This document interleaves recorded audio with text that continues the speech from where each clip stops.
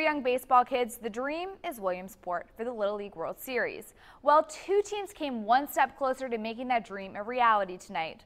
Little League District Championships tonight. Terre Haute North versus Clinton. Cade Moore at bat hits a huge homer for Terre Haute North, and coach said they all get to play laser tag. Nice hit. Cade North leads 5 0 in the fourth.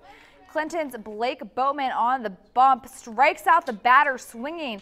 Clinton trails 5-2 in the fifth inning.